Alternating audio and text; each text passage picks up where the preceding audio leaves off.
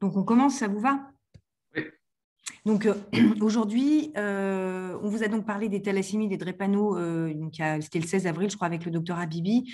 Donc elle, elle vous a fait une description un peu de description clinique en fait de, de, l'histoire de ces malades, de leur prise en charge. Et moi, je vais plus appuyer sur les urgences et sur comment on les traite. Donc évidemment, vous allez avoir des redites. Il y a même des diapos qui sont les mêmes. D'habitude, c'est moi qui fais les deux cours. donc je sais à peu près ce qui s'est dit forcément. Cette fois, j'ai pas pu le faire le, le 16 avril. mais bon, voilà, c'est vraiment pour appuyer sur la prise en charge en urgence et vous m'arrêtez évidemment s'il y a des choses que, vous ne comprenez pas ou dont vous voulez qu'on parle un peu plus. Est-ce que ça marche le truc? Ah, ça ne marche pas. Attendez. Donc, euh, l'hémoglobine, je pense que ça, elle vous avait déjà expliqué. Euh, l'hémoglobine, elle est composée de euh, quatre chaînes alpha qui sont sur les chromosomes 16, de deux gènes bêta sur les chromosomes 11. l'hémoglobine normale de l'adulte la plus fréquente, c'est l'hémoglobine A.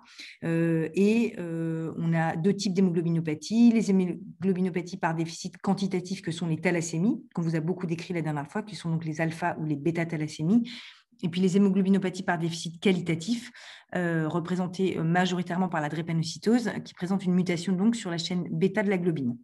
La mutation la plus fréquente, c'est la mutation bêta-S, qui est donc à l'origine de euh, la drépanocytose homozygote, SS. Mais il y a d'autres mutations sur la chaîne bêta, qui donc occasionne euh, la fabrication de l'hémoglobine C euh, notamment, et qui, lorsqu'elle s'associe à la présence d'hémoglobine S, donne également un syndrome drépanocytaire majeur, en sachant que, je pense qu'elle vous l'a dit la dernière fois, euh, l'hémoglobine C en elle-même n'est pas pathologique, hein, et les patients qui sont CC sont parfois un peu anémiques, mais ne présentent pas du tout les manifestations de la drépanocytose. Donc, je vous remets l'électrophorèse de l'hémoglobine normale. Donc, on a entre 96 et 98% d'hémoglobine A. Euh, il nous reste un petit peu d'hémoglobine fétale, euh, qui est donc l'hémoglobine alpha 2 gamma 2, qui est donc l'hémoglobine qui est fabriquée euh, in utero. Et on a un peu d'hémoglobine A2, qui est l'hémoglobine alpha 2 delta 2. ça, c'est une électrophorèse de l'hémoglobine standard. quand on a une drépanocytose. Je ne sais pas si vous voyez la flèche, si normalement vous la voyez. Euh, on a donc un pic d'hémoglobine S qui migre à peu près euh, à cet endroit-là. Et comme vous savez, il y a à peu près 450 euh, hémoglobines différentes hein, dans le monde répertorié, donc que les, savants biochimistes savent différencier sur une électrophorèse. moi pas, c'est extrêmement précis comme dosage et comme résultat, mais l'électrophorèse permet au moins un dépistage de la plupart des hémoglobinopathies. Donc, comme je vous disais, les deux types de maladies héréditaires de l'hémoglobine, les anomalies de synthèse de l'hémoglobine alpha ou bêta, et les anomalies structurelles que sont les syndromes drépanocytaires. Donc ça, c'est un peu une redite. Hein. Alors, quelles sont euh, les urgences? Ça, c'est juste pour vous donner une vue d'ensemble. On va ensuite les détailler. Euh, dans les alpha-thalassémies, euh, pas grand-chose. c'est des maladies qui sont un peu moins symptomatiques et je pense que vous en avez vu la description la dernière fois. ce qui nous préoccupe surtout, c'est les atteintes cardiaques dans la bêta-thalassémie et qui sont dues essentiellement à la surcharge en fer que je vais vous décrire tout à l'heure. Dans les syndromes drépanocytaires, en revanche, il y a beaucoup plus d'urgences, euh, des malades qui sont beaucoup plus symptomatiques et avec euh, malheureusement un panel de symptômes assez différents.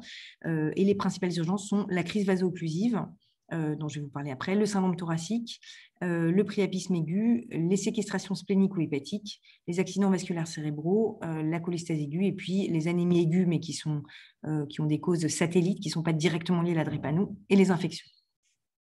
Si je parle trop vite, vous m'arrêtez. Donc les thalassémies, là, je vous ai remis la diapo que vous avez dû avoir la dernière fois. Donc les différents types de thalassémie, on ne va pas revenir dessus.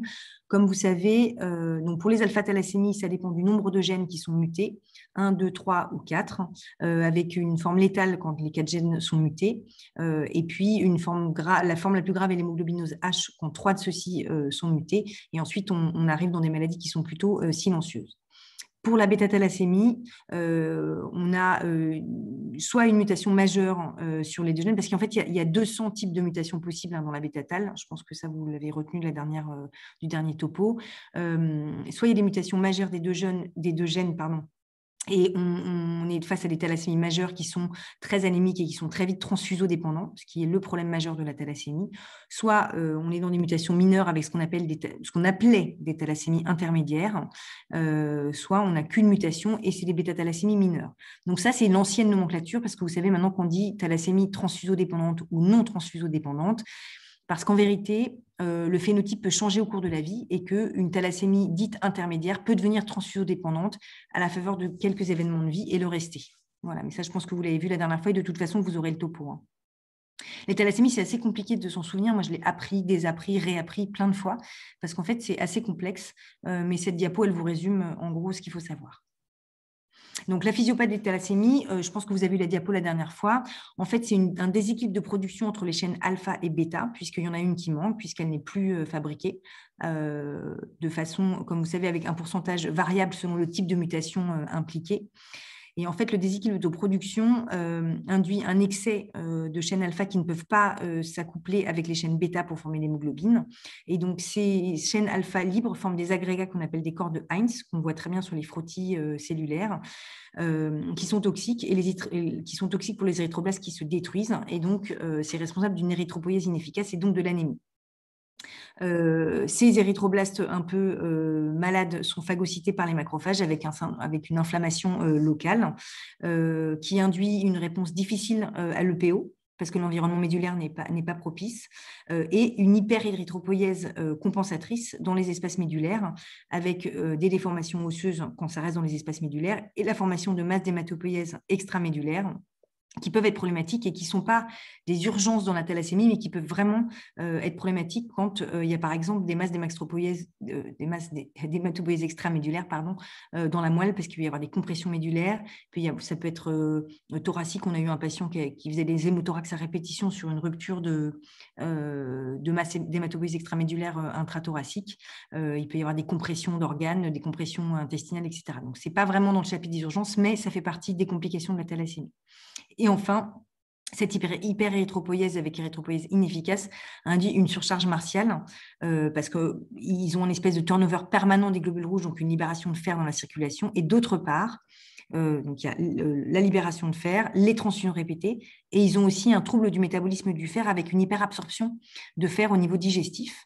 Et c'est pour ça qu'on peut voir des surcharges martiales chez les patients thalassémiques également non transfusés. Donc c'est pour ça que les thalassémiques qu'on appelait avant intermédiaires et qui ne sont pas encore transfusodépendants, il faut quand même vérifier euh, le fer euh, parce qu'ils peuvent quand même avoir des surcharges martiales même s'ils ne sont pas transfusés. Ça, c'est important de le savoir pour votre pratique future. Donc, en résumé, donc l'exception alpha, ça c'est ce que je vous ai dit, mais en schéma. Donc altération cellulaire et membranaire, dysérythropoïèse, qui induisent euh, d'une part des anomalies squelettiques avec euh, des déformations et une ostéopénie parce qu'en fait l'os euh, est occupé par de la masse hématopoïétique et, pas tellement du, calcium, du phosphore qu'il constitue. Donc en fait, l'os il est, il est fragile. on a de l'ostéopénie, c'est de l'os qui est pas, comment n'est pas constitué. Les travées ne sont pas normales. et puis il se déforme à cause de la place que prend l'hématopoïèse. Et puis parallèlement, on a l'hyperabsorption de fer qui donne la surcharge en fer dont je vous parlais. Globalement, il y a une diminution d'apport d'oxygène au tissu avec une diminution de relargage de l'oxygène au tissu et donc une souffrance d'organes chronique à cause de l'hypoxie. L'exception alpha induit donc une hémolyse des globules rouges ou des érythroblastes euh, à l'origine d'une splénomégalie euh, extrêmement fréquente chez les thalassémiques, et ce qui nous conduit parfois même à faire des splénectomies, euh, parce que en fait, physiquement, en fait, c'est plus, enfin, je veux dire, l'abdomen ne peut plus contenir la rate qui est trop grosse. Je pense que là, vous allez avoir une image de. Voilà. Donc, sur la gauche de votre écran, vous avez les images osseuses. Donc, vous voyez que sur l'IRM, par exemple, la, la, comment dire, l'épaisseur osseuse est, très importante à cause de l'hyperérythropoïèse, donc ça prend énormément de place, donc l'os s'élargit et en même temps il est, euh, il est, il est, il est fragile euh, parce que les travées sont occupées par des globules rouges et pas par les constituants normales de l'os. Ça donne aussi un aspect peigné comme ça, comme vous voyez sur la radio, et puis un aspect déminéralisé là, sur les radios euh, du tibia du péroné. Et là, vous avez une photo d'un petit enfant avec la taille de sa rate, vous voyez, qui est absolument énorme, qui prend toute la place, d'où l'importance parfois des, thalassémies. Euh, des splénectomies, par contre, qu'on fait, qu'on essaie de moins faire. Et c'est vrai que plus on est transfuse tôt et moins ils ont de splénomégalie, puisqu'ils ont moins d'érythropoïèse inefficace. Euh, mais c'est des vraies questions qui se posent. Alors, quel est l'effet de la transfusion sur euh, les thalassémies? Là, ce que vous voyez, c'est l'espérance de vie des thalassémiques avec et sans transfusion. Donc, sans transfusion, c'est en rouge. Donc, vous voyez qu'avant, alors ça, c'est, un vieux papier, hein, mais c'est juste parce qu'il est assez explicite vous voyez que l'expérience de vie des thalassémiques euh, n'excédait pas 10 ans et que quand vous les transfusez donc en vert, on, augmente l'espérance de vie à 25 ans. Alors, en vrai, euh, ils sont beaucoup plus âgés, les thalassémiques, maintenant, hein, euh, parce qu'on les transfuse mieux, on les transfuse plus, plus précocement. Et puis, on a les traitements chélateurs du fer, dont elle a dû vous parler il y a trois semaines, qui permettent de, transfuser plus tranquillement sans, sans les conséquences de la surcharge martiale. Euh, on a des thalassémiques dans le service qui sont beaucoup plus âgés que ça. Euh, et quand je dis qu'on les transfuse c'est-à-dire que euh, parfois on les transfuse plus souvent, mais, moins en quantité à chaque fois, ce qui permet de faire moins d'assauts de fer, moins d'assauts globulaires et, de leur maintenir un taux d'hémoglobine à peu près régulier, parce que si vous les transfusez trop espacés, en fait, ils vont passer de 6 grammes d'hémoglobine à 10, puis ils vont repasser à 6, puis ils vont passer à 10. Alors que si vous les transfusez tous les 15 jours, par exemple, ben, ils vont être en moyenne à 8, ce qui est quand même beaucoup plus confortable pour les organes. Alors, pourquoi la surcharge martiale est un problème euh, chez les thalassémiques? Donc là, vous avez un tableau qui est un, article de Blood de 97 qui date déjà, mais qui lui aussi très explicite. Donc vous avez ici, euh, sur la gauche, la quantité de fer par, gramme de foie euh, total, et à droite, par gramme de foie sec. Alors, vous voyez que donc ici, c'est les thalassémies majeures. donc, si on les transfuse sans, euh, sans chélation martiale associée, euh, vous voyez que très tôt, ils ont une, surcharge martiale majeure, hein, d'accord, entre 40 et 50. Euh, pour comparer l'hémochromatose homozygote, vous voyez, c'est beaucoup plus, ça arrive aussi, mais de façon beaucoup plus, comment dire, lente. et ce qui est important de noter, c'est que euh, le mieux, c'est d'avoir entre 5 euh, et 7 euh, micromoles par gramme de foie sec. c'est ça la, zone de non-toxicité et qu'au-delà commencent les complications. entre 7 et 15, et qu'au-delà de 15 microgrammes par gramme de foie sec, commencent les complications cardiaques qui grèvent vraiment le pronostic du thalassémique. Donc, la surveillance de la surcharge martiale, elle est majeure. c'est extrêmement bien codifié. Je sais je crois que j'ai remis la diapo euh, là, mais je pense que vous l'aviez dans le cours d'avant. Euh, il faut faire euh, une, Alors, avant le gold standard, pour évaluer la surcharge martiale, c'était la PBH. On ne le fait évidemment plus parce qu'il y a beaucoup plus de, risques à faire une PBH à un patient que de suivre par des, par des prises de sang et par les nouveaux examens que sont l'IRM cardiaque et l'IRM hépatique de surcharge. Euh, mais c'est des patients à qui on doit faire euh, une écho tous les six mois, une ferritine et une IRM cœur-foie euh, au début de la prise en charge et puis environ tous les deux ans, associés à des examens cardiologiques de type échographie, Holter et un Holter un peu, particulier, un Holter comment dire, un peu plus précis pour détecter les troubles du rythme assez régulièrement si vous suspectez une atteinte cardiaque que c'est vraiment ça qui, c'est ça qu'il faut que vous reteniez du cours, c'est que c'est l'atteinte cardiaque de la surcharge en fer qui grève le pronostic parce qu'ils font des troubles du rythme et des morts subites. Donc, voilà ce que je vous disais. Donc, les causes majeures de mortalité dans la bêta-thalassémie, c'est les dysfonctions euh, ventriculaires avec des troubles du rythme et des morts subites. Donc, on évalue avec une ferritine, ECG, écho-cœur. Biopsie hépatique et myocardique, vraiment, on ne le fait quasiment plus. Hein. Franchement, c'est euh, uniquement quand on a un doute sur une autre cause euh, d'atteinte hépatique, parce qu'ils peuvent aussi avoir d'autres euh, pathologies, malheureusement, mais sinon, ça ne se fait plus du tout en routine.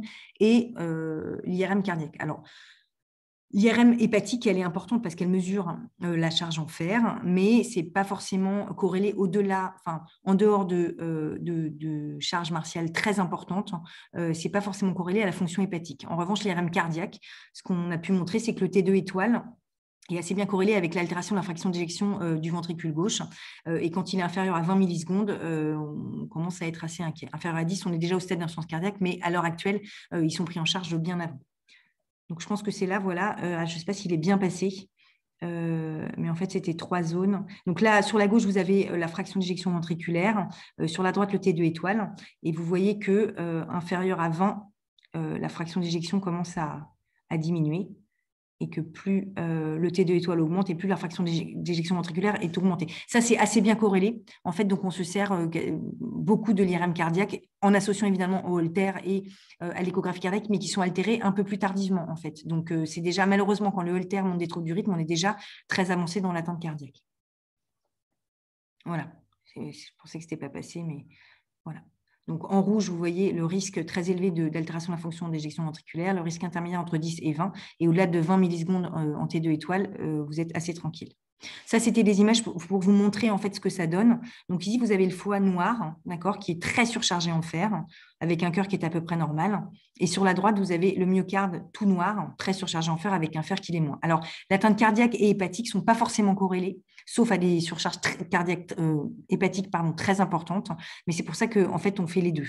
Alors, est-ce qu'on les répète? Euh, Plus de tous les deux ans, ce n'est pas nécessaire, euh, parce que ça ne se modifiera pas.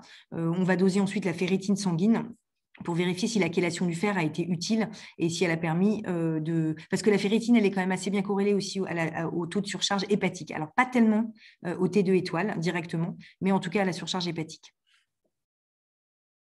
Est-ce que c'est clair? Personne ne parle, je pense que c'est clair. Donc, euh, euh, alors, je vous ai déjà mis la diapo du traitement d'urgence, mais en pratique, les patients thalassémiques, euh, ils sont vus régulièrement en hôpital de jour parce qu'ils sont transfusés. une ferritine plus de tous les six mois, ça ne sert à rien parce que ça ne change pas aussi vite. L'atteinte hépatique, enfin, la surcharge hépatique, il faut la traiter par des chélateurs. Je vous ai parmi la diapo, mais je pense que vous l'avez eu sur le dernier cours avec les différents types de chélateurs. Il y en a trois euh, le desphéral, euh, l'exjade et le feriprox. Le desphéral étant le traitement en IV, l'exjade et le feriprox étant péros. Euh, le, pour l'atteinte hépatique, euh, par exemple pour les drépanocytaires qui sont aussi multitransfusés parfois et qui ont des surcharges, on peut attendre quelques mois avant de débuter, ce n'est pas une urgence. En revanche, l'atteinte cardiaque, euh, si elle est authentifiée sur l'IRM, voire encore pire sur, avec une altération de la fraction d'éjection ou des troubles du rythme, c'est une urgence absolue et il faut hospitaliser le patient et le mettre sous des sphérales en IV. Euh, ça, c'est vraiment une urgence. C'est un traitement qui n'est pas très bien toléré. Qui... Alors maintenant, il est mieux administré, c'est-à-dire qu'on peut le faire aussi en chronique chez les gens et ça peut se faire à la maison. Avant, ça se faisait forcément 12 heures sur 24, maintenant, ça peut être en 30 minutes. Donc, ça s'est beaucoup amélioré, euh, mais c'est un traitement qui fait un peu mal, euh, qui brûle un peu les veines, comme on dit. Et donc, et puis, quand c'est en urgence, il faut les hospitaliser cinq jours. Tout ça, c'est un peu difficile, mais il n'y a, pas de, discussion. Si vraiment vous avez une atteinte cardiaque, il faut le faire. Et tout en commençant un chélateur péros, euh, qui est le feriprox ou la défériprone, tout de suite pour prendre le relais du desphéral, que vous pourrez aussi continuer parce qu'on peut associer les chélateurs. Mais le seul traitement qui permet de réduire la charge martiale rapidement, c'est le desphéral en IV. Donc, il faut également associer les traitements cardiologiques en cas de défaillance, mais ça, donc c'est plutôt les cardiologues qui, qui, vous aideront là-dessus. Et évidemment, vérifier les autres types d'atteintes dues au fer dont vous avez dû parler euh, dans le dernier cours, et notamment l'insuffisance surrénale, euh, parce que la défense cardiaque, elle, aura, euh, elle sera d'autant mieux traitée que la, que la fonction surrénalienne est, est adaptée. Évidemment, les, les troubles hydroélectrolytiques vont favoriser les troubles du rythme. Alors, je crois, je sais plus ce voilà.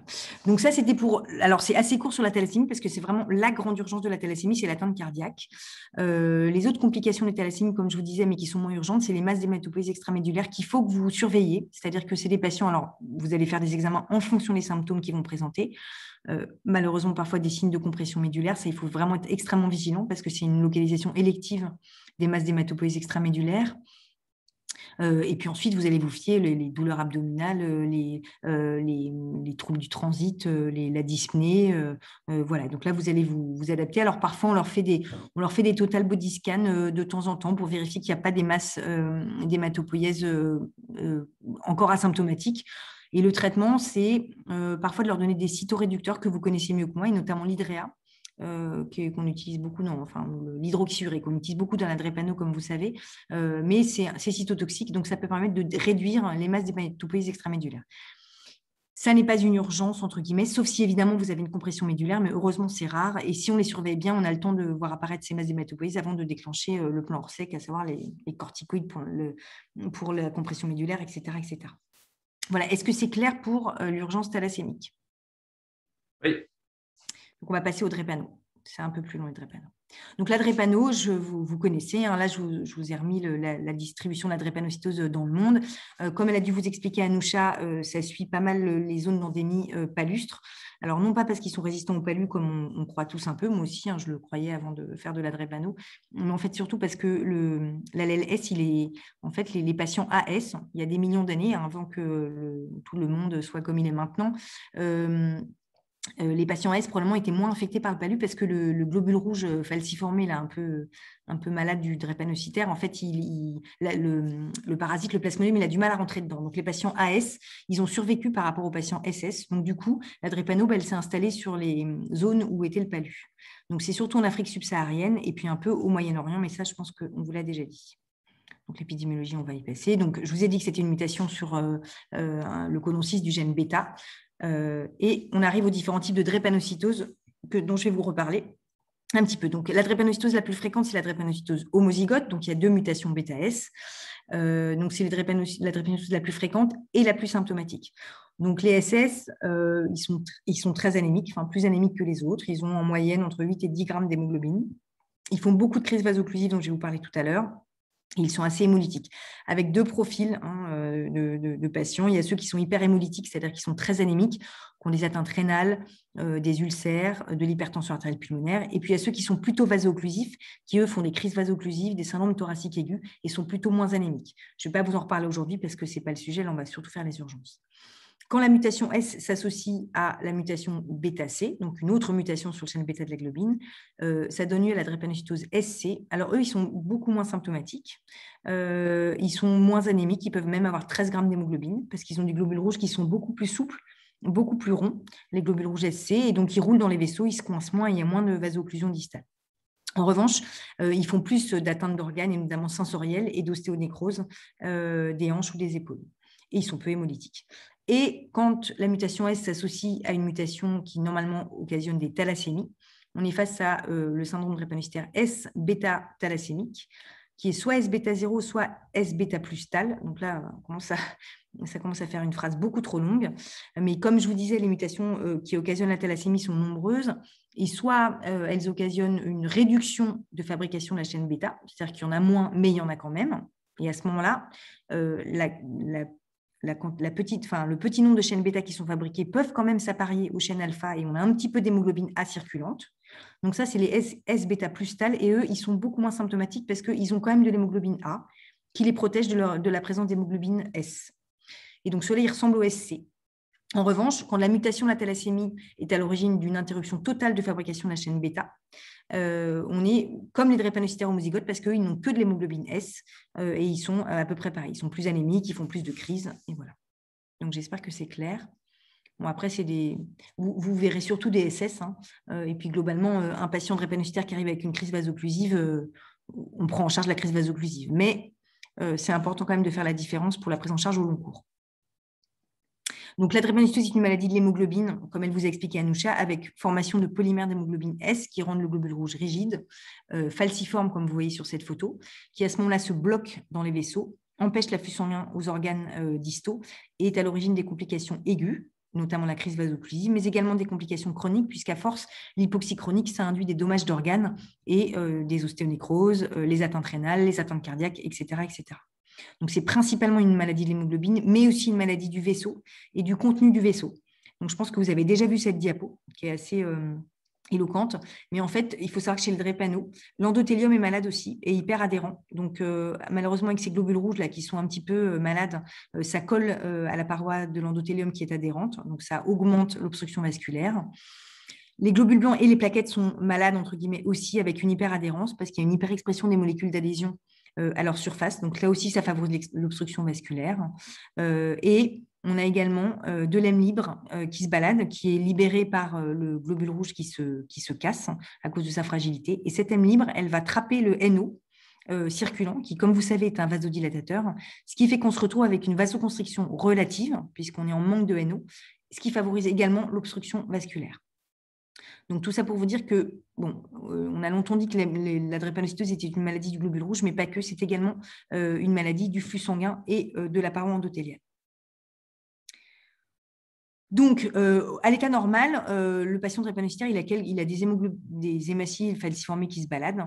et puis, quand surviennent des facteurs déclenchants, à savoir l'hypoxie, euh, le ralentissement euh, du flux sanguin euh, parce que on est complètement au repos ou qu'il fait froid, le, la déshydratation, à ce moment-là, la fièvre, la diminution de pH, tout ça favorise la polymérisation de l'hémoglobine. Et là, il y a un afflux de falciformation en fait qui contribue à à l'obstruction vasculaire. Donc tout ça pour vous dire que, ces facteurs déclenchants que je viens de vous décrire, en fait, sont des facteurs précipitants euh, des, hum, phénomènes aigus de la drépanocytose, à savoir notamment la crise vasoclusive, le syndrome thoracique euh, et le priapisme. Et pourquoi je vous raconte ça? Parce qu'en fait, c'est des, facteurs déclenchants qu'on décrit aux patients pour qu'ils essayent de les éviter au maximum pour éviter les crises. Alors après, on n'est pas malheureusement maître de tout et parfois ils font des crises sans qu'il y ait de facteurs déclenchants euh, euh, identifiés. Euh, le stress, par exemple, c'est un facteur déclenchant identifié mais abstrait, si vous voulez, le froid, la déshydratation, les vomissements, tout ça, on peut dire, ah ben voilà, il a vomi, il a eu froid, etc. Le stress, c'est quelque chose de très subtil, hein, vous ne pouvez pas... C'est pas du tout concret et pourtant ça induit vraiment de la vraie falsification et des vraies crises vaso-occlusives. Donc il y a quand même plein de choses qu'on ne connaît pas bien. en tout cas, ce qui est sûr, c'est que pendant les phénomènes aigus de la drépano, il y a une falsification massive qui est à l'origine de l'obstruction vasculaire et des symptômes. Alors, quelles sont les urgences? Euh, Tableau récapitulatif, je vais vous les décrire. Comme je vous disais tout à l'heure, la CVO, le syndrome thoracique aigu, le priapisme, l'AVC, euh, les séquestrations, la cholestasie aiguë. L'autre, c'est un peu les anémies et les infections, c'est des, ça survient dans la drépanocytose, mais c'est moins relié à la drépano. Alors, qu'est-ce qui peut comment dire, retentir sur le pronostic vital. Euh, les crises vasoclusives, le STA. Alors, le STA, la, alors, c'était la première cause de mortalité des patients drépanocytaires pendant longtemps. Et puis, en fait, malheureusement, ou heureusement, les deux, euh, comme euh, la prise en charge des drépano a évolué, que maintenant, on les met de plus en plus sous hydroxyurée pour des indications plus larges, qu'on les transfuse plus et mieux, c'est-à-dire en aphérèse avec une machine pour éviter la surcharge en fer, etc. etc. Aphérèse, je ne vous explique pas, vous êtes hématologue, je pense que vous, vous savez tout ce que c'est.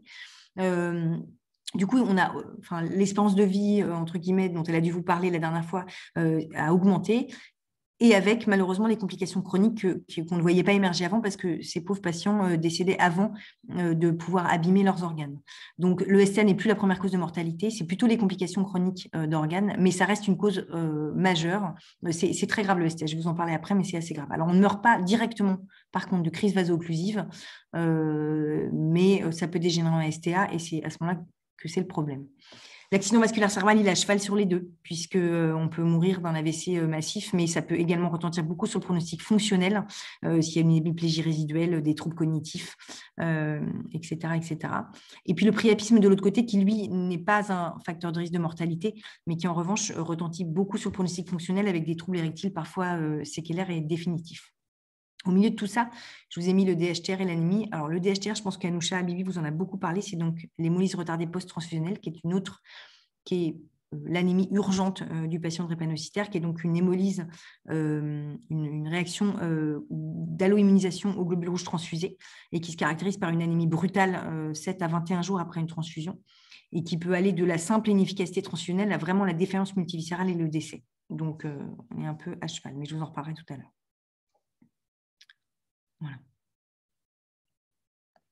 Donc, les causes de décès, alors là, oui, je vous ai mis, première cause de mortalité, l'AVC. Euh, c'est une cause très fréquente de mortalité, euh, mais c'est moins fréquent que le STA. Donc, l'un dans l'autre, on meurt plus de STA que, d'AVC. Donc, les causes de décès, je pense qu'Anoucha vous en a parlé. Donc, la, première cause, comme je disais, c'est la défaillance d'organes, puis le STA. Euh, et ensuite, vous voyez, c'est listé sur cette diapo. Alors, la crise vaso-occlusive. La crise vaso-occlusive, elle a dû vous en parler un peu. Donc, c'est une crise douloureuse osseuse aiguë, euh, imprévisible, euh, de site variable. Ça change selon les crises, ça change selon les patients. Euh, c'est les os longs, le rachis, la mâchoire, le crâne, un peu partout, avec des facteurs déclenchants, comme je vous disais, identifiés ou non. Donc, la déshydratation, le froid, l'hypoxie, le stress, le manque de sommeil, les règles. Alors, c'est très fréquent. Il y a pas mal de patients de drépano qui, malheureusement, font des, des crises à chaque fois qu'elles ont leurs règles. Les corticoïdes, alors pourquoi les corticoïdes? Parce qu'en fait, les corticoïdes induisent, comme vous savez, une, démargination des globules blancs. Et donc, du coup, il y a un afflux de globules blancs qui sont démarginés de la paroi endothéliale et ça favorise l'obstruction vasculaire. Donc, comme je vous dis, hein, parfois c'est identifié, parfois pas du tout. Le patient, il arrive et il ne sait pas pourquoi il est, en crise. C'est important de l'identifier parce qu'il y en a certains qu'on peut euh, euh, enlever, traiter. C'est-à-dire qu'on bah, va hydrater le patient qui a la diarrhée depuis trois jours, euh, on va donner des antiémétiques, on va le réchauffer, on va traiter une infection, on va le, on faire dormir s'il n'a pas pu dormir pour des raisons diverses. On va arrêter les corticoïdes, etc. En revanche, le stress, c'est important de le mettre en évidence parce qu'il faudra évidemment le prendre en compte. Euh, mais comme vous imaginez, ça, ce n'est pas un facteur qu'on peut faire partir comme ça. C'est-à-dire que si le stress ou les émotions, elles, découlent du fait qu'on vient de se faire plaquer ou qu'on a loupé un examen ou un entretien d'embauche auquel on tenait beaucoup, on ne pourra pas l'enlever euh, comme ça en claquant des doigts. Mais en tenir compte, on pourra en parler avec le patient, lui faire entendre qu'on l'entend aussi. Et c'est très important dans la prise en charge des patients drépano, c'est aussi l'accompagnement psychologique parce que c'est des patients qui vont pas bien. Euh, alors, pas tous, hein, c'est toujours pareil, mais c'est une maladie qui est, c'est un peu une épée de Damoclès en fait. Ils, ne savent jamais à quelle sauce ils vont être mangés. Euh, quand ils ont des choses importantes, et ben bom, ils ont une crise, donc ils peuvent pas y assister. Euh, ils loupent leurs examens, ils vont pas en cours. donc c'est des patients qui globalement sont un peu sur le qui vive tout le temps. Donc il faut vraiment les accompagner. Donc il faut, ces facteurs déclenchants de stress, faut les, faut les rechercher. Donc ça peut s'accompagner d'un fébricule, alors 38,2, hein, pas 39. Les patients drépanocytaires sont un peu plus sujets aux infections, donc il faut toujours la rechercher. Nous, on leur met des antibiotiques assez facilement. Euh, les infectiologues ont envie de nous décapiter, mais on le fait quand même parce qu'on craint beaucoup le pneumocoque, puisque je vous rappelle qu'ils ils ont une asplénie fonctionnelle. Hein, à cause des vasoclusions, de la micro-vaso-obstruction euh, splénique permanente depuis leur enfance.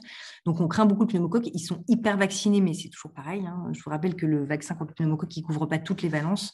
Euh, donc, dans le doute, nous, on leur met assez facilement du clamoxyl. Mais bon, une fois 38,2 pendant une crise vasoclusive authentifiée, voilà, ça peut n'être que la crise. Le risque majeur, c'est l'évolution vers un STA avec des facteurs prédictifs d'évolution que sont les douleurs rachidiennes, les globules blancs supérieurs à 11 et les rétiques supérieures à 200 000.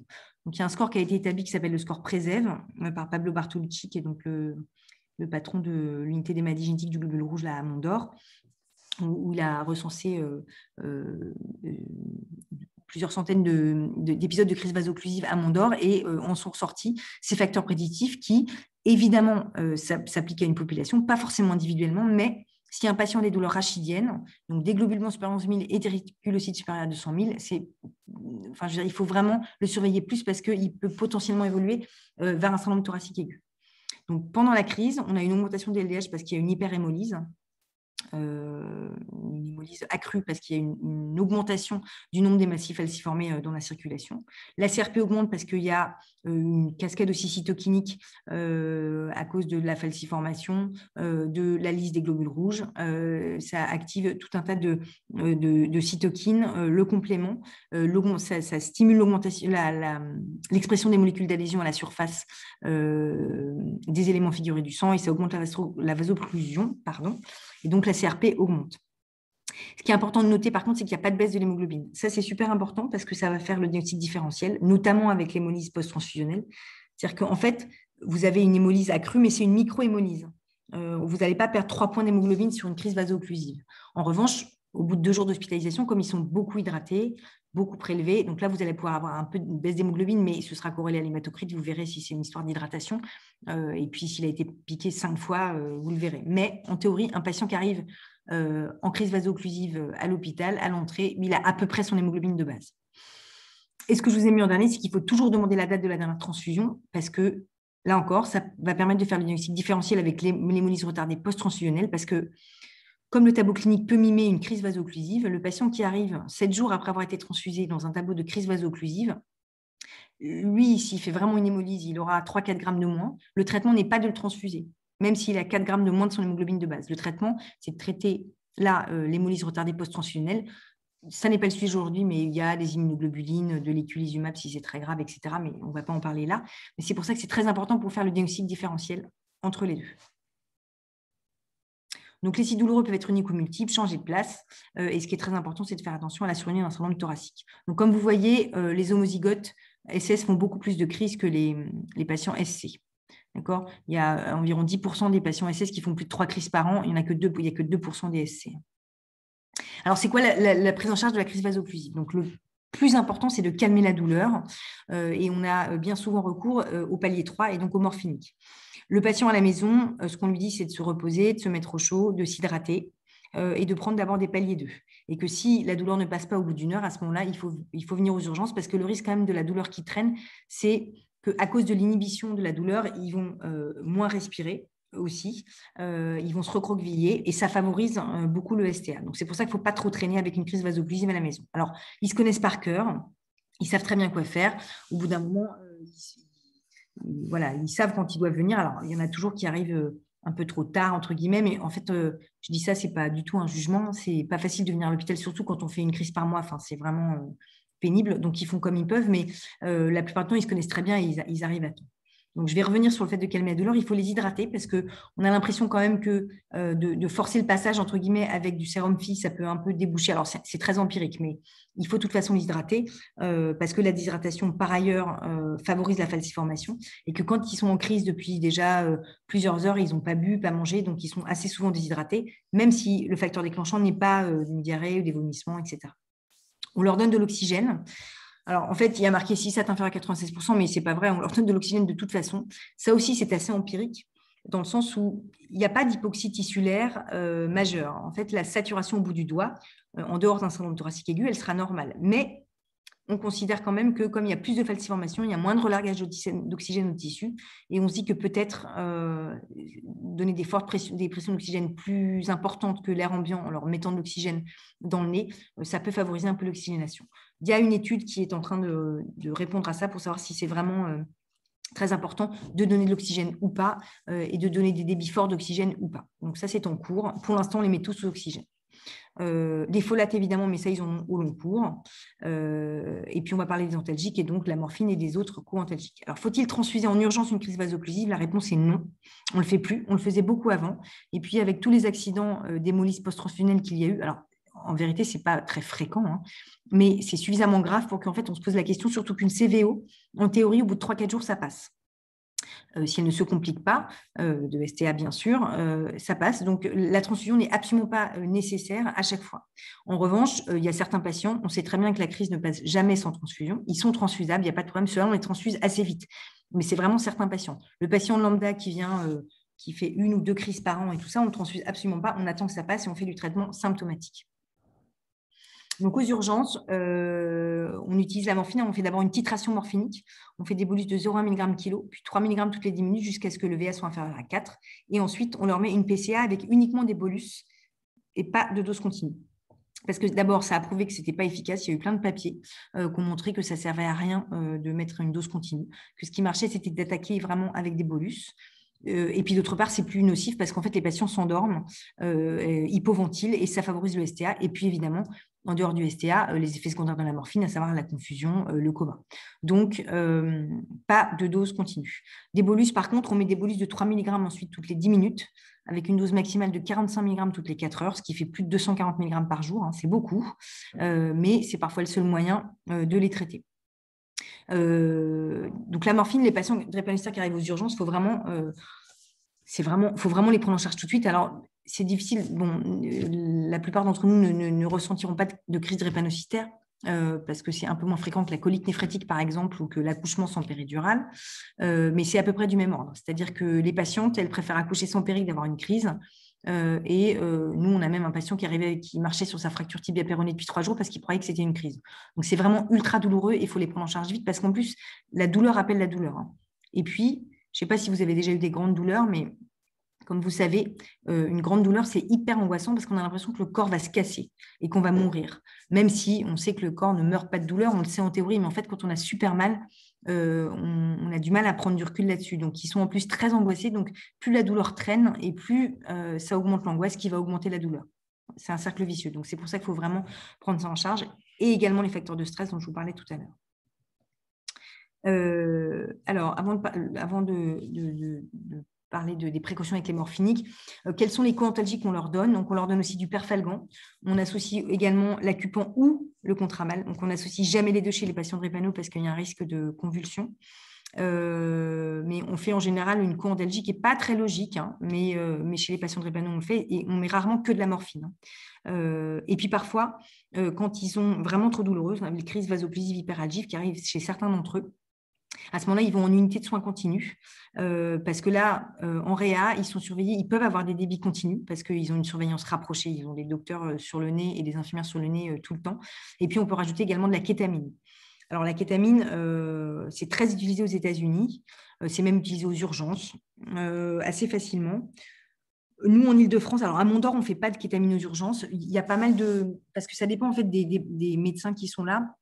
Moi, je ne l'ai jamais utilisé toute seule aux urgences, donc je ne le fais pas, mais il y a des urgentistes qui le font parce qu'ils l'ont manié, parce qu'ils ont fait de la réa, donc c'est aussi faisable comme ça aux urgences.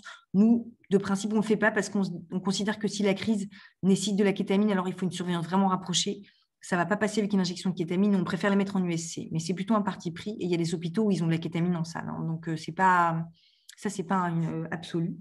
le problème de la kétamine, surtout, c'est que ça donne des cauchemars et que, et que c'est vraiment des cauchemars horribles et que ils sont déjà angoissés, ils ont très mal, après, ils vont en réa, on leur met de la kétam. On sait pas toujours un bon, cocktail.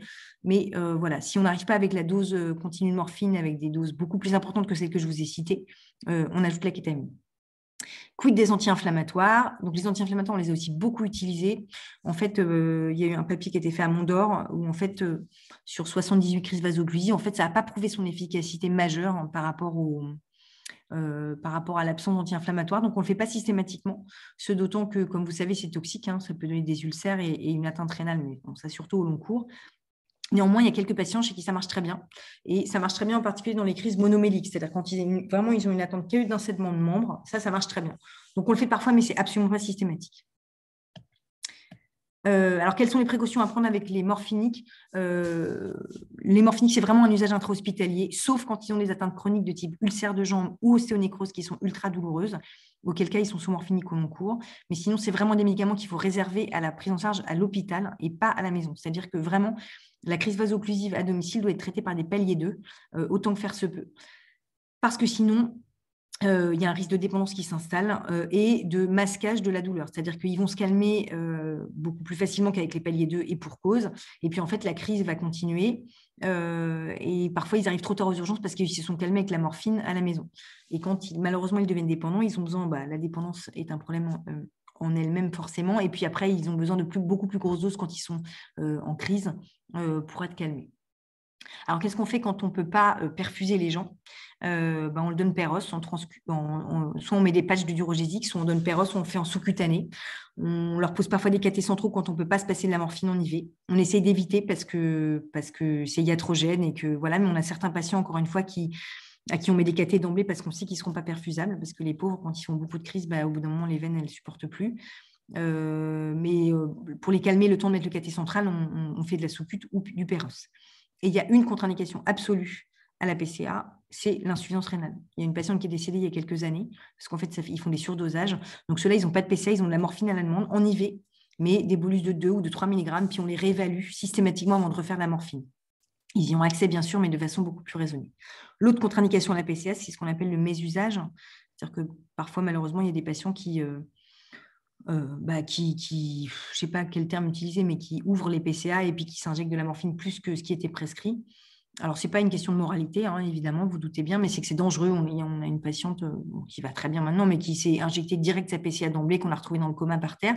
Donc, elle, elle est mignonne parce qu'elle arrive aux urgences, elle dit ah Non, mais moi, je n'ai pas le droit à la PCA parce que je la trafique. Donc, c'est assez simple de s'occuper d'elle.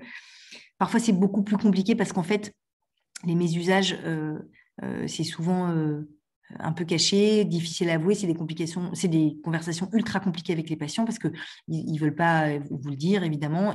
Ils ne mésusent pas par plaisir, mais c'est parce que bien souvent, ils sont dépendants, ils ont besoin de plus grosses doses, donc ils sont, malgré les doses de morphine, quand même euh, en, sevrage parce qu'ils n'ont pas leur dose euh, euh, suffisante. Donc, c'est des conversations compliquées, mais si vous repérez un mésusage de, morphine, malheureusement, il faut éviter de leur donner parce qu'il y avoir vraiment des grosses complications. Mais là-dessus, philosophiquement, je suis pas, enfin voilà, on pourrait en parler des heures. Donc, euh, enlever la PC à quelqu'un, c'est quand même une décision compliquée. Donc, euh, voilà, ça se, ça se, prend à plusieurs. Voilà pour la crise vaso-occlusive. Le syndrome thoracique aigu, le syndrome thoracique aigu, c'est une association, c'est une crise vaso-occlusive pulmonaire, en fait. Donc, vous m'arrêtez hein, si je vais trop vite. Euh, comme vous êtes silencieux, ça devrait aller. alors, le syndrome thoracique aigu, vulgairement, entre guillemets, c'est une crise vaso-occlusive pulmonaire. Alors, c'est un peu plus compliqué que ça, en fait. Et vous voyez sur la gauche euh, euh, la physiopathologie du STA résumée. En fait, c'est une association de plusieurs choses. Euh, il y a probablement de la vaso-occlusion des petits vaisseaux alvéolaires qui, donc, sont moins oxygénés, se rétractent. Donc, ça fait de l'hypoventilation. L'hypoventilation, ça favorise la stagnation des sécrétions qui se surinfectent. L'infection, ça donne un état inflammatoire qui favorise la falciformation, qui refavorise la vaso-occlusion. Et parallèlement, quand ils font des crises euh, euh, vasoclusives costales, euh, souvent, hein, ça, arrive aussi, ceux-là, ils font de l'hypoventilation parce qu'ils ont extrêmement du mal à expandre les poumons parce que c'est très douloureux au niveau des côtes. donc ils hypoventilent, donc l'alvéole se rétracte et on retourne dans ce que je vous ai dit. Et par ailleurs, ce qui peut se passer aussi, c'est qu'il peut y avoir des emboles graisseux, mais ça, ça, peut arriver dans d'autres conditions, enfin dans d'autres comment dire circonstances dans la drépano, parce qu'en fait il y a une hyperrégénération médulaire et donc il y a une, encore une fois la moelle osseuse, elle est occupée par euh, la masse d'érythropoïèse et donc la graisse notamment contenue dans la moelle euh, fuit vers les vaisseaux. Et l'embolie graisseuse euh, notamment au niveau cérébral ça donne des tableaux neurologiques assez costauds qui sont des espèces de tableaux confusionnels aigus très bizarres qui peuvent durer plusieurs semaines avec une restitution ad heureusement parce que la graisse se dissout. Mais ça participe aussi probablement à l'obstruction pulmonaire hein. c'est-à-dire qu'il y a un peu d'embolie graisseuse dans les vaisseaux pulmonaires donc une hypoxie des alvéoles etc etc donc, cliniquement, ça ressemble à une pneumopathie. C'est très difficile de différencier une pneumopathie. Donc, après, vous avez l'histoire clinique, c'est-à-dire que ça peut commencer par une crise vaso-occlusive ou ça peut commencer d'emblée. Il n'y a pas forcément de crise vaso-occlusive au début, mais après, vous avez un contexte. C'est un patient drépanocytaire. Euh, en général, il a une douleur thoracique qui est progressivement croissante. Euh, il tousse, il crache, il a de la fièvre. Euh, une pneumopathie, la douleur elle est plus brutale. Euh, il y a une très forte fièvre, il y en a un peu moins dans le STA. C'est pas toujours facile à différencier, mais globalement le traitement euh, y ressemble. donc voilà, c'est pas forcément nécessaire de mettre un nom dessus parce que encore une fois, c'est pas facile de, de, faire la différence. Donc c'est 20% des hospitalisations et une grande cause de mortalité, comme je vous disais. Ce qui est difficile, là où c'est difficile de faire la différence, c'est avec l'embolie pulmonaire parce que dans 17% des cas, c'est un article que je vais vous montrer plus tard, euh, les diapos d'après, euh, il y a une thrombose pulmonaire qui est associée. C'est-à-dire que dans le magma inflammatoire vaso-occlusif euh, pulmonaire distal, il y a parfois des thromboses in situ qui se forment. Et sur le scanner, ça ressemble à de l'embolie pulmonaire. C'est une thrombose in situ, mais ça ressemble à de l'embolie pulmonaire. donc, déjà, 17, 17 à 20% des cas, c'est beaucoup. Donc, on a tendance à faire pas mal de scanners à, nos patients, alors qu'on pourrait faire le diagnostic cliniquement. C'est-à-dire que c'est un patient qui arrive avec une douleur thoracique, euh, de la fièvre, des infiltrats ou la radio que vous voyez, un foyer de crépitant, on peut se dire bah, il a soit une pneumopathie, soit un STA. On va le traiter comme tel et puis on s'arrête là. Le problème, c'est que dans 20% des cas, il y a des thromboses associées. Donc, euh, est-ce qu'il faut faire des scanners à tous les patients de Répano qui ont un syndrome thoracique aigu? Eh ben, Je ne sais pas vous répondre. On en fait beaucoup pour ne pas louper le P. Il faut quand même rester un peu clinique. Euh, il y a un score qui a été développé que je vais vous décrire après pour, euh, pour voir si, euh, enfin, quelle est la prédiction d'une EP associée, ce qui permet un peu de, de, ne pas faire des scanners à tout le monde, mais ce n'est pas facile. L'EP, chez les patients drépanocytaires, elle se traite comme toutes les embolies pulmonaires si elle est segmentaire. Quand elle est sous-segmentaire et au sein d'un syndrome thoracique aigu, c'est-à-dire d'un magma alvéolaire, d'un syndrome alvéolaire, on ne la traitera pas forcément parce qu'on va considérer que c'est une thrombose locale et que donc c'est inflammatoire et qu'il n'y a pas lieu de donner des anticoagulants. En revanche, si elle est segmentaire, c'est-à-dire si elle touche des plus gros troncs, on va considérer que c'est une EP, favorisée par le syndrome thoracique aigu lui-même, par l'alitement, par la drépanocytose qui est une thrombophilie. Donc là, on va les traiter comme des embolies pulmonaires. Est-ce que c'est clair? Voilà des images. Je vais vous raconter le traitement du STA. Donc ça, c'est des images du STA. C'est grave le STA, hein. ça va assez vite. C'est-à-dire qu'il y a des patients qui peuvent être euh, bien à 10 heures du matin et intubés, ventilés le soir. Donc c'est pour ça que c'est des patients qu'on surveille beaucoup. Il faut surveiller, quand les patients ont une CVO, euh, l'émergence d'un STA. Euh, avec les signes cliniques standards. Hein. Est-ce qu'ils ont des douleurs thoraciques? Est-ce qu'ils ont une dyspnée? Est-ce qu'ils ont des infiltrations radio pulmonaire? Qu'on ne fait pas systématiquement lors des CVO, hein, mais au moindre point d'appel. et puis, quand vous avez un STA constitué, à ce moment-là, il faut absolument euh, euh, surveiller les paramètres respiratoires euh, pour pouvoir transférer les patients en réanimation dès qu'il le faut. Alors, les patients qui ont STA ne sont pas tous en réa. Il y a plein de STA qui restent en salle quand ils ne sont pas en détresse respiratoire, mais c'est vraiment des patients qu'on surveille. Donc là, je vais vous montrer un scanner. Oui, c'est comme une pneumopathie en fait. Hein. C'est un syndrome alvéolaire avec un bronchogramme aérique. Donc, c'est à peu près pareil. La différence, c'est qu'une pneumopathie standard chez le patient non drépano, bah, on va le traiter avec des antibiotiques euh, et on ne va pas le transfuser. Le syndrome thoracique aigu n'est pas une infection pulmonaire macroscopique. On a fait une étude à Mondor sur 100 euh, syndromes thoraciques aigus il y a longtemps. On n'a jamais retrouvé de germes, en fait. On n'en retrouve quasiment jamais.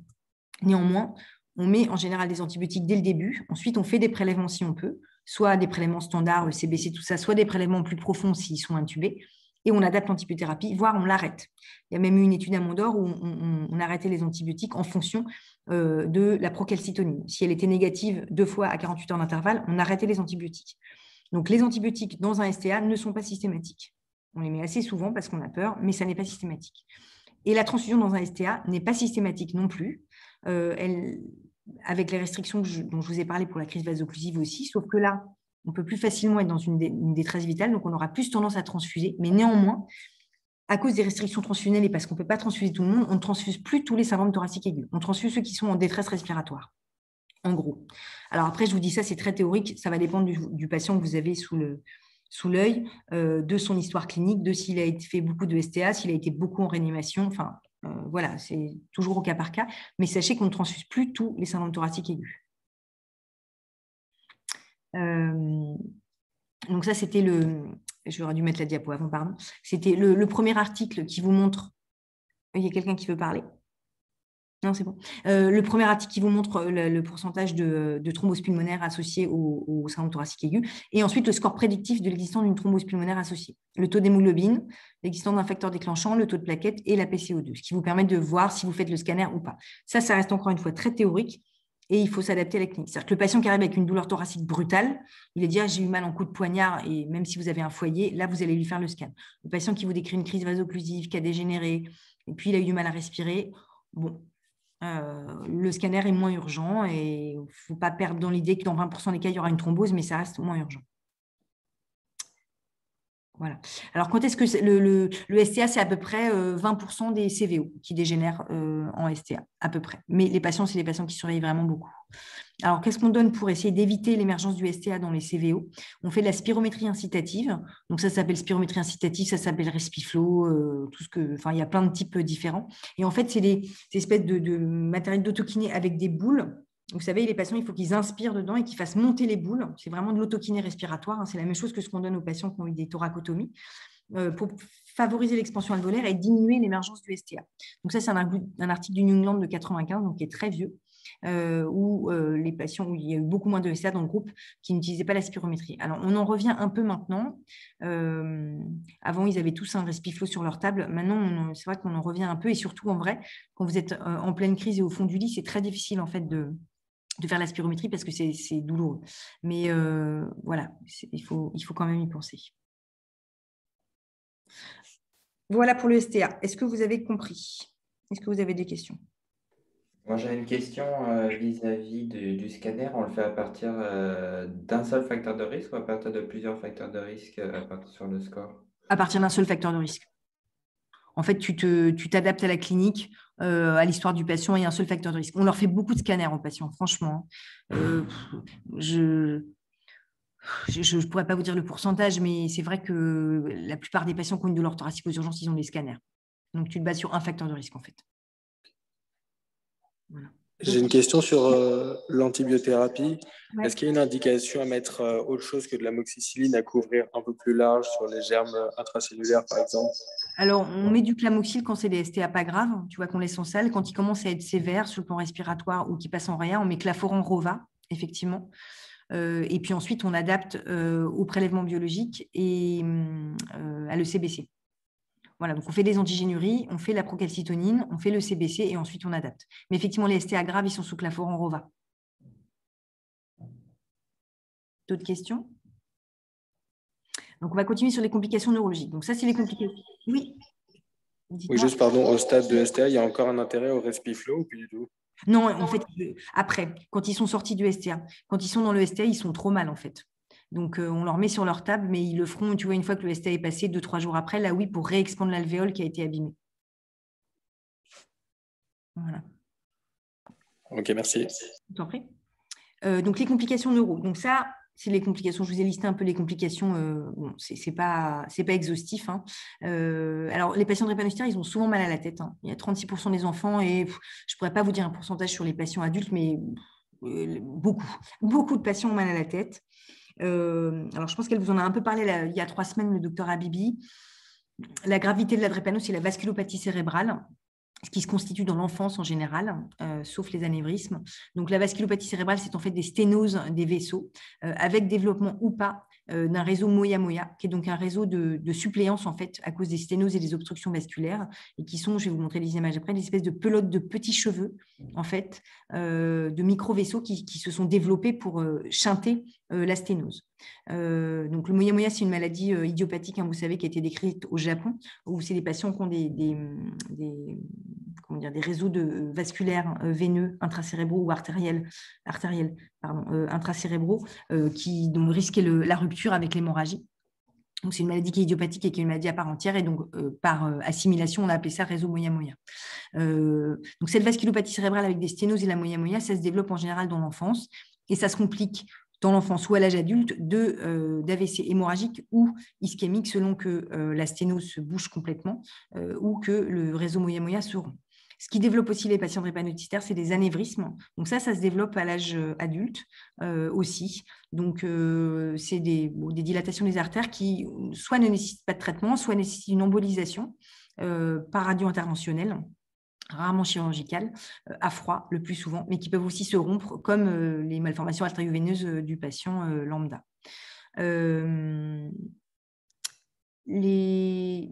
La vasculopathie avec moya-moya, elle, elle se développe dans l'enfance. Donc en pratique, si vous faites une IRM cérébrale à un patient drépano de 20 ans et qu'il n'a pas de moya-moya, il n'en aura jamais. Donc ça, c'est plutôt rassurant, parce que la moya-moya, c'est une contre-indication aux anticoagulants, en théorie, efficace. Donc, les AVC ischémiques avec moya-moya, on est toujours un peu embêté pour les anticoagulants. Donc, c'est vraiment une discussion au cas par cas. Euh, donc voilà, si vous n'avez pas de moya-moya à 20 ans, vous êtes à peu près tranquille. En revanche, ils peuvent développer des anévrismes. Donc, ce qu'on fait souvent, c'est qu'on leur fait une IRM cérébrale à peu près tous les 4-5 ans euh, pour voir l'évolution. Alors, évidemment, il y a des moya-moya qui apparaissent à l'âge adulte, c'est des histoires de chasse. On en a deux ou trois, mais sinon, la médecine, elle serait trop euh, dogmatique. Mais globalement, vous pouvez retenir ça. Ce qui est particulier aussi chez les patients drépano, c'est qu'il y a de l'ischémie silencieuse euh, avec. Euh, non, je ne sais, pas pourquoi la, la, diapo s'est inversée. Donc, les AVC ischémiques qui surviennent chez 1% des enfants suivis et 11% avant l'âge de 20 ans. Et l'AVC hémorragique, 3% des enfants et 10% des adultes. Vous avez aussi des ischémies silencieuses donc, qui se traduisent sur l'IRM par des hypersignaux de la substance blanche, plus ou moins nombreux, mais vous voyez, il y a 40% des patients à 18 ans qui ont ça. Euh, et c'est maintenant parfois un motif à introduire l'hydroxyurée parce qu'on considère que c'est là encore de la micro-obstruction vasculaire et de l'ischémie euh, distale. Euh, donc ça, ce n'est pas, pas euh, prédictif d'AVC ni pour voyeur d'AVC du tout, hein, c'est de la micro-obstruction distale, mais c'est vous dire à quel point il y a du dommage d'organes distal. Donc chez les SS, les accidents vasculaires cérébraux, ils sont ischémiques dans l'enfance et hémorragiques après 30 ans. Dans 60% des cas, il y a une vasculopathie que je viens de vous décrire, avec ou sans moya-moya, hein, mais il y a des sténoses qui se sont formées dans l'enfance, et c'est plutôt dans le territoire carotidien. Et malheureusement, alors ça, c'est une indication, les, atteintes neurologiques chez le patient drépanocytaire, c'est l'indication majeure à la transfusion. C'est l'indication avec un grand I euh, pour laquelle on contourne les problèmes transfusionnels. Donc, je m'explique. Euh, il y a toutes les, complications là, que je vous ai décrites. Je vous ai dit on transfuse, on ne transfuse pas, la CVO qui traîne, si le patient est transfusable, le STA qui est grave. S'ils ne sont pas transfusables, les patients, on va serrer les dents et on va essayer de ne pas les transfuser et de faire passer la crise ou le STA. L'attente neurologique, c'est-à-dire l'AVC aigu, je vais vous montrer après un algorithme de traitement, c'est vraiment l'indication où on contourne quasiment tout le temps la problématique transfusionnelle. Malheureusement, et en général, on transfuse à la phase aiguë, je vais vous montrer après, euh, et euh, en, phase chronique, c'est des patients qui sont mis en programme d'échange, en fait, tous les mois, pour abaisser le taux d'hémoglobine S, pour éviter la récurrence des AVC. Malheureusement, ça évite pas tout. Euh, il y a souvent des récurrences dans les deux ans. Euh, alors, on a essayé de relayer par l'hydroxyurée les, enfants qui étaient en programme d'échange. Euh, les études ne sont pas, probantes, euh, donc ça dépend de la gravité de l'AVC, de si c'est, comment dire, de, la vitesse d'accélération des flux dans les vaisseaux. Quand l'AVC n'est pas constitué, quand il n'y a pas encore de sténose, s'il y a une accélération des flux au Doppler transcrânien chez l'enfant, on peut commencer par l'hydroxyurée et pas commencer par les transfusions quand ils n'ont pas encore fait d'AVC. Donc tout ça, c'est, de la, vraiment de la discussion euh, euh, collégiale et au cas par cas. Euh, mais malheureusement, c'est, assez grave et puis ça, ça revient malgré les transfusions. Donc c'est un peu triste pour eux. Parce qu'il y a des enfants qui sont très handicapés, enfin des jeunes adultes qui sont très handicapés et on n'arrive pas, on court un peu derrière. Chez les patients SC, par contre, euh, c'est surtout après 40 ans et ça rejoint plutôt euh, le territoire, enfin, la population des gens qui ont des facteurs de risque vasculaires. Mais bon, 40 ans, c'est jeune hein, pour faire un AVC quand même, malgré les facteurs de risque vasculaires. Je vais vous montrer des exemples. Donc ça, c'est une IRM normale. Vous voyez avec le polygone de Willis, les différents territoires, les cérébrales antérieures, postérieures, cérébrales moyennes. Et là, vous avez voilà, une IRM de patient drépano, hop, ça s'arrête sur la cérébrale moyenne, sur la sylvienne. Il y a une sténose. Ça, c'est le réseau moyen-moyen, vous voyez Donc là, il y a une sténose du siphon carotidien. Et ici, vous voyez, il y a tout un réseau de suppléance. Et ce réseau-là, donc ici, euh, ça peut se boucher. Et puis ici, ça peut se rompre. Donc, ils sont vraiment très à risque. Et malheureusement, la transfusion, elle n'empêche vraiment pas tout une fois qu'il s'est constitué comme ça. Alors, quel est l'algorithme de traitement d'un AVC en urgence? Donc, euh, évidemment, euh, vous allez voir si c'est hémorragique ou ischémique, ça c'est comme tous les AVC. Euh, vous allez transfuser de toute façon. Je vous dis, on contourne les problèmes transfusionnels, ceux qui sont pas transfusables et tout ça, on va se débrouiller. Je vous passe les détails hein, de comment on contourne la transfusion, ce n'est pas le sujet, mais on les transfuse de toute façon, donc soit manuel, soit par érythraphérèse. L'AVC ischémique étant plus grave, plus sévère que l'AVC hémorragique. Euh, et puis, euh, ensuite, on recherche euh, la cause de l'AVC. Donc, soit vous avez un anévrisme qui s'est rompu. à ce moment-là, on fait un geste endovasculaire comme pour les malformations artério-veineuses, les autres. Il n'y a pas besoin de programme transfusionnel dans les suites parce que c'est un accident mécanique et ça va se résoudre avec le traitement soit il y a un réseau moya-moya qui s'est rompu, auquel cas il faut un programme transfusionnel parce que c'est des patients qui ont donc des obstructions vasculaires euh, répétées, euh, qui donc vont bénéficier d'une baisse de l'hémoglobine S. Si c'est un AVC ischémique euh, et qu'il n'y a pas de, euh, de moya-moya, vous pouvez faire de la fibrinolyse, qui est absolument contre-indiquée en cas de réseau moya-moya. Ça, c'est très important. Euh, et si vous avez une vasculopathie sténosante confirmée, c'est-à-dire des sténoses diverses dans les vaisseaux, vous les mettrez sous programme d'échange transfusionnel que vous ne ferez pas s'il n'y a pas de vasculopathie cérébrale sous-jacente. Bon, ça, c'est des discussions de, en fait, avec le centre de référence. De toute façon, c'est assez compliqué, en sachant que les anticoagulants, en général, sont contre-indiqués euh, s'il y a la moya-moya, mais ça dépend vraiment du type d'AVC ischémique et en fait, on discute au cas par cas. Mais en tout cas, si les patients, on ne fait pas le combo AVC tout de suite, fibrinolyse, euh, statine, on ne fait pas ça tout de suite. Hein. L'urgence, c'est la transfusion, vraiment. Et c'est une urgence dans les heures qui suivent l'AVC, hein, vraiment. En transfuse avec un objectif d'hémoglobine à combien? Alors, l'hémoglobine S, elle doit être inférieure à 20%, si possible. Donc, si tu veux, c'est pour ça qu'on essaye de faire sur machine, parce que sur machine, on peut leur faire euh, jusqu'à 6 kg, ce qui permet de baisser beaucoup l'hémoglobine S. L'échange manuel, comme vous savez, euh, c'est plus compliqué, parce qu'en fait, il faut faire des saignées à chaque fois. Je pense qu'elle vous en a parlé un peu, le docteur Abibi, la dernière fois. En fait, on ne peut pas transfuser un patient drépanocytaire comme ça. Euh, et lui monter l'hémoglobine à 14 grammes, hein, parce qu'il ne va pas aimer, ces vaisseaux, ils ne sont pas faits pour ça. Donc, en fait, il faut leur faire des saignées avant, en fonction du chiffre d'hémoglobine. Et donc, l'échange transfusionnel manuel, il faut faire un culot, une saignée, un culot, une saignée, donc c'est beaucoup plus long. Sur machine, vous allez enlever la quantité de sang que vous allez transfuser. Donc, euh, vous allez transfuser 1500 ml, vous allez enlever 1500 ml. Donc, le patient, déjà, il n'aura pas de surcharge en fer, mais en plus, il sera euvolémique, ce qui, pour les AVC, est très important. donc, l'objectif, c'est inférieur à 20-30% pour les SS. Pour les SC, on ne se base pas sur le taux d'hémoglobine S parce que c'est une hémoglobinopathie composite. Donc, on se base sur le taux d'hémoglobine A qui doit être supérieur à 50% et qui va permettre de. Euh, il y aura suffisamment d'hémoglobine A et l'hémoglobine euh, S sera moins toxique. Que c'est OK?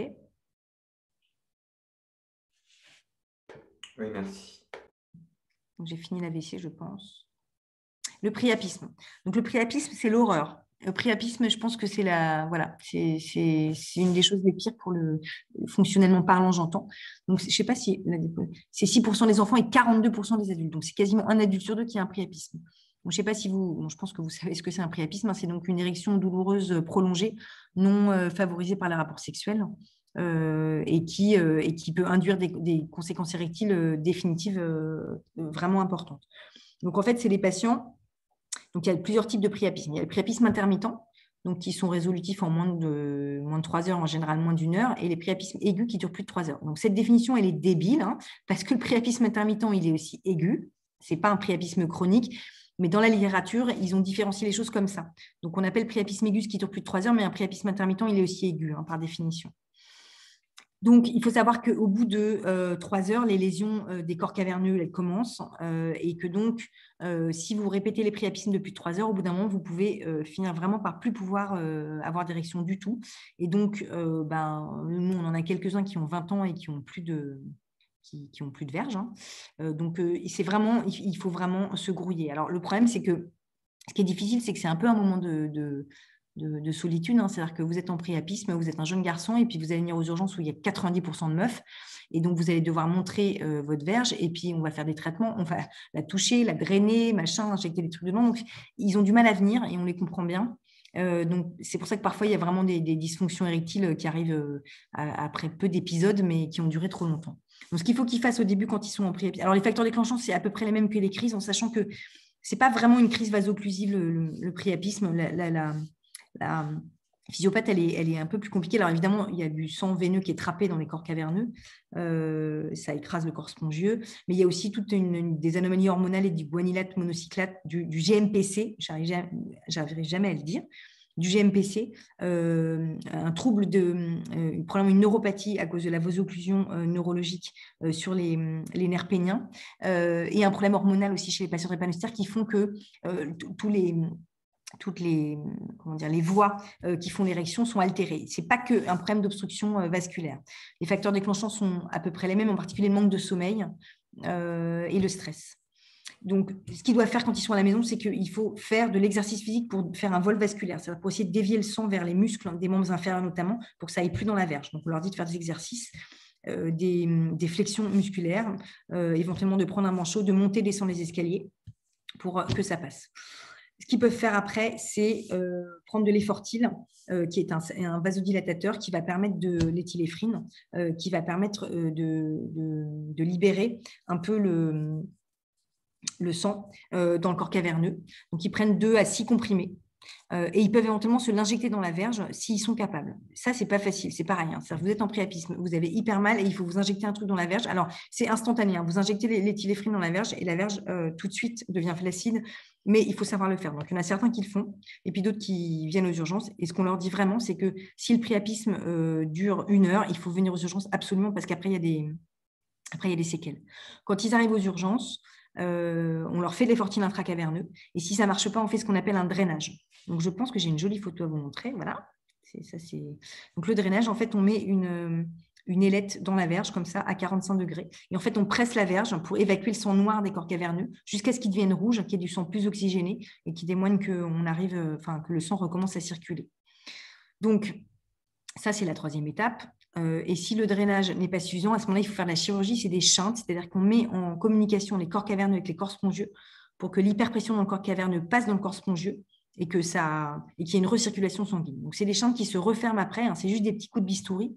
Donc il y a des chantes proximaux, des chantes distaux, je vous passe les détails, ça c'est des histoires d'urologue, mais c'est juste un coup de bistouri qui permet de relâcher la pression en fait dans les corps caverneux.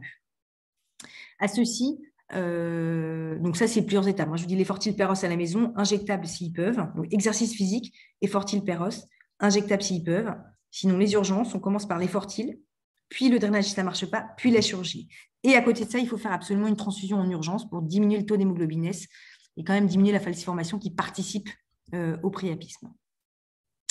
Quand le priapisme est résolu, euh, on les met en général sous androcure. Euh, parce que là, pour le coup, ça joue sur la voie hormonale de l'érection. L'androcure, ça diminue la testostérone, ça diminue les, toutes, les, voies hormonales qui permettent l'érection. Et donc, en général, alors là, du coup, ils n'ont plus du tout d'érection, parce qu'avec l'androcure, qui est un anti-androgène, comme vous savez, peut plus avoir d'érection. Euh, ils n'ont plus de libido non plus, donc c'est pas top. Euh, mais au moins, ça calme les salves de priapisme.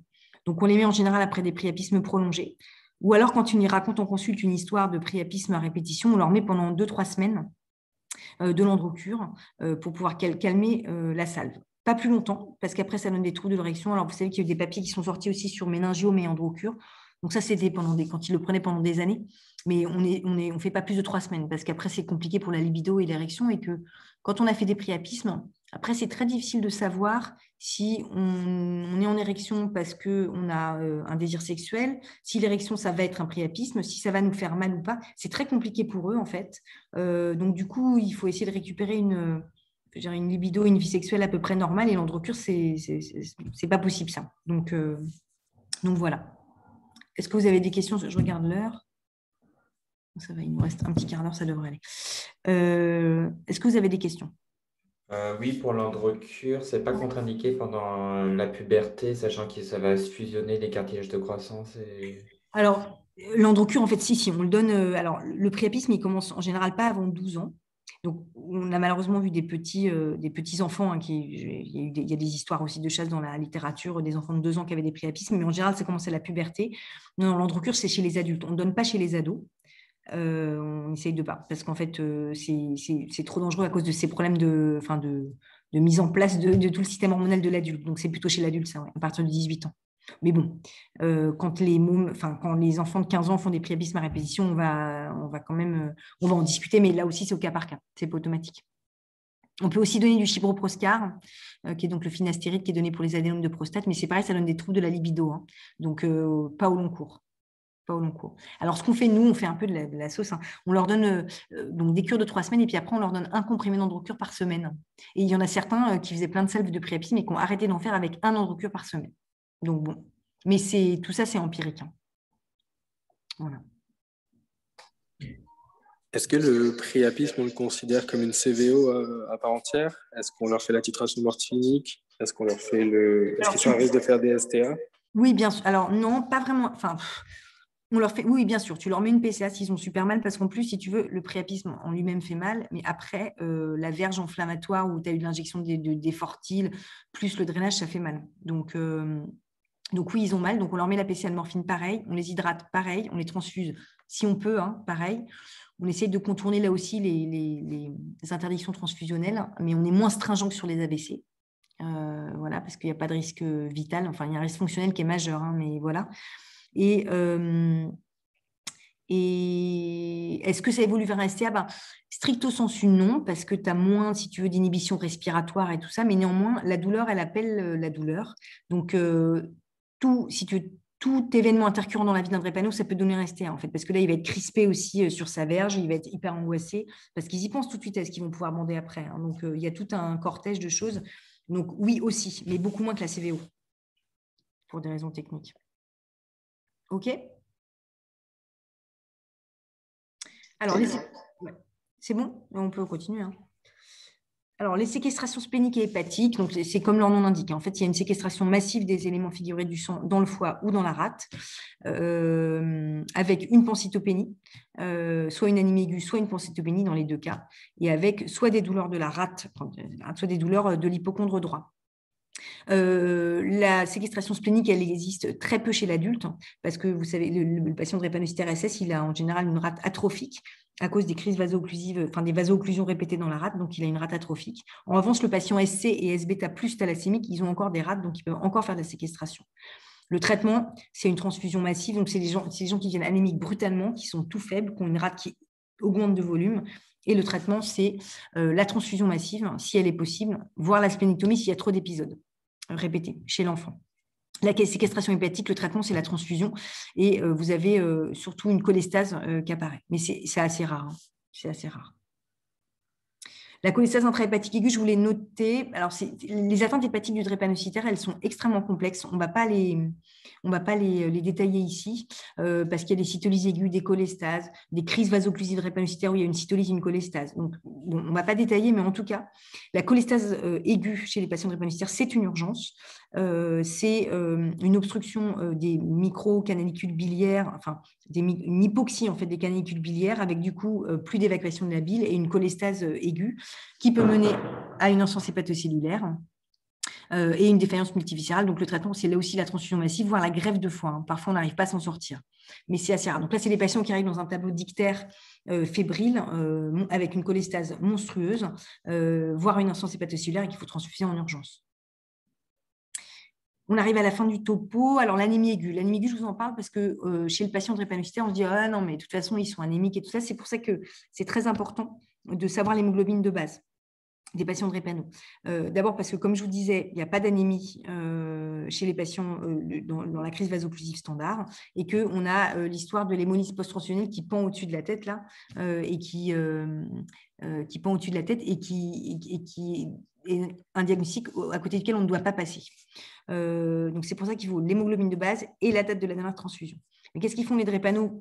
Quelles sont les causes d'anémie aiguë chez le patient drépano? Donc il y a la nécrose médulaire étendue, nécrose médulaire étendue, je pense que vous avez vu cette diapo sur le dernier cours, qui est en fait une crise vaso-occlusive géante, où en fait, mais c'est comme son nom l'indique, en fait, c'est une espèce de douleur où ils sont hyper frénétiques, comme une colique néphrétique, ils sont dans tous les sens, ils ont mal absolument partout, ça ne ressemble pas à leur crise, et ils sont euh, très anémiques, voire pancytopéniques.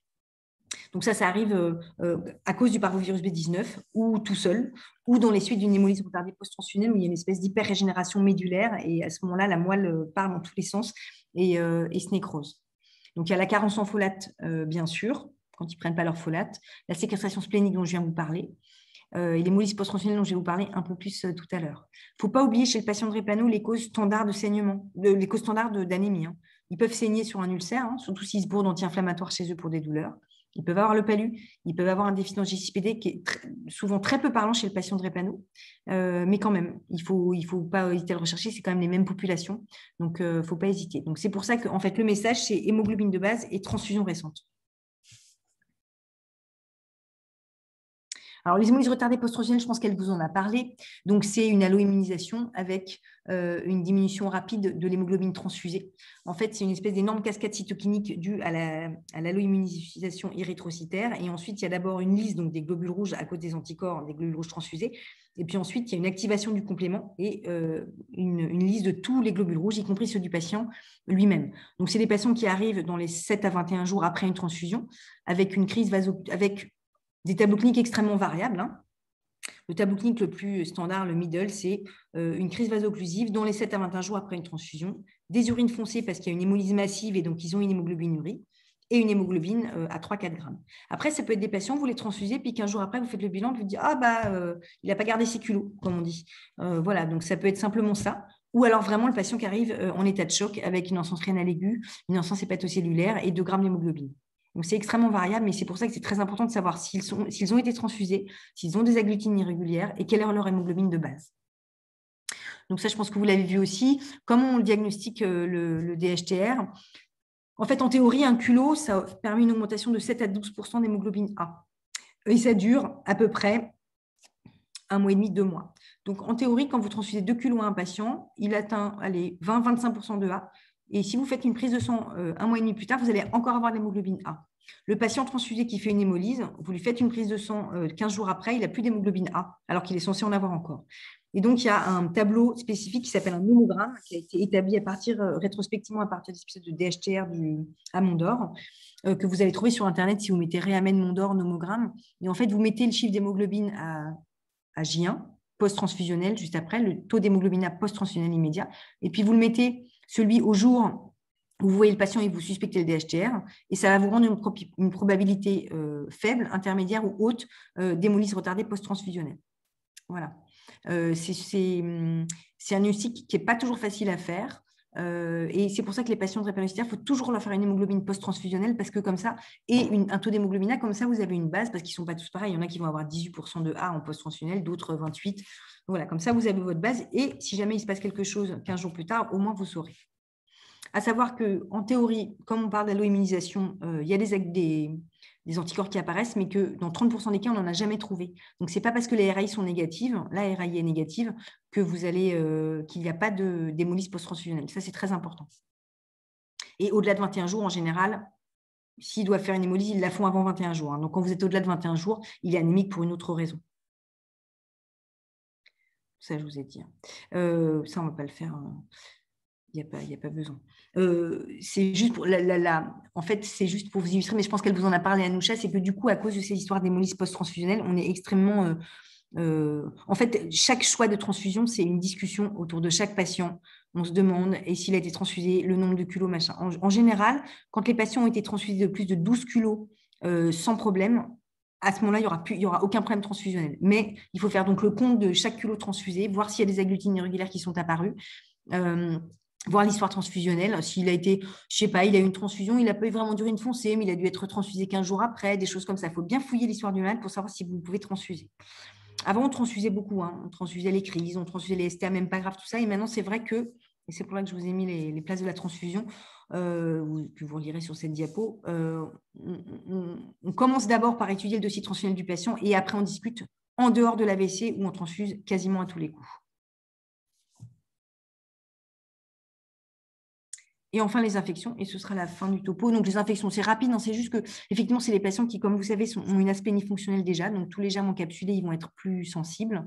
Et d'autre part, il y a probablement euh, euh, un problème, enfin, une, disimmunité parce que, euh, par exemple, le DHTR, ce n'est pas des choses qu'on a constatées chez les, chez les patients euh, noirs euh, ou africains transfusés et ce n'est pas des, des, des hum, et, et, ça, a été décrit un peu, mais très peu chez les caucasiens aussi. Donc, on ne sait pas si c'est euh, à cause de l'origine ethnique ou euh, à cause de la maladie, euh, entre guillemets, mais probablement que quand même il y a de la disimmunité chez le patient drépanocytaire qui fait qu'il s'allo-immunise plus et que donc peut-être que la réaction, enfin la réponse antigénique à des, à stimuli bactériens est différente.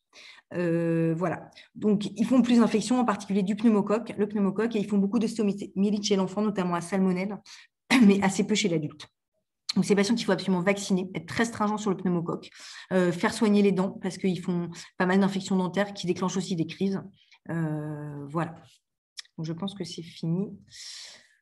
Euh, voilà, donc ce qu'il faut retenir de ce topo, c'est que la surcharge cardiaque, c'est la complication majeure de, des thalassémies, notamment ceux qui sont transfusés, mais qu'il ne faut pas oublier de vérifier la ferritine chez les thalassémiques non transfusodépendants que euh, la ferritine est corrélée à l'atteinte hépatique, mais pas forcément à l'atteinte cardiaque, qu'il faut faire donc des examens euh, cardiaques euh, réguliers pour voir le degré de surcharge cardiaque, que la complication majeure de la drépano la plus fréquente, c'est la CVO, qui peut devenir sévère et se transformer en STA, qu'il est absolument important de dépister, qu'il ne faut pas oublier la thrombose qui peut être associée au STA, qu'on ne transfuse plus tout le monde et qu'il faut faire attention à l'hémolyse retardée post-transfusionnelle. et voilà en gros, ce que j'avais à vous dire. J'espère que ça vous, ça vous a apporté par rapport au cours de la dernière fois, dans le sens que c'est un peu redondant ces deux cours tous les ans, mais bon, là j'ai insisté plus sur les urgences, donc euh, voilà, je suis à vous si vous avez des questions.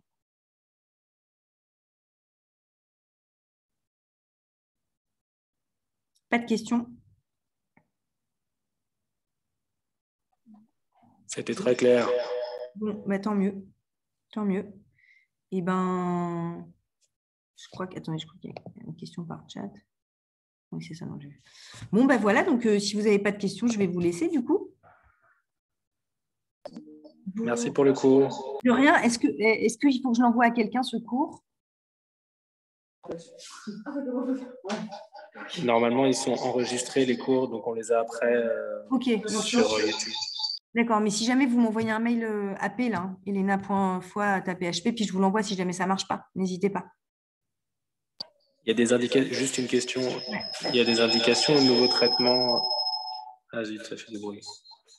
Lesquels, par exemple? Pardon, le nouveau traitement qu'on donne chez les patients drépanocytaires qui font souvent des CVO, un traitement long. Ouais. Euh, alors, écoute, euh, en phase aiguë, non. Euh, on le donne maintenant, on va essayer de le donner en prévention des crises chez les patients qui font des crises malgré l'hydroxyurée, mais pas en phase aiguë, non. Il y a pas, on n'a pas de, de nouveaux traitements aigus là, pour les drépanocytes. On a pas mal de nouveaux traitements de fond, préventifs, mais pas de traitement aigu. Ok, d'accord, merci. De rien. Bon, ben à bientôt, hein, les cocos. Bonne soirée. Merci, à bientôt.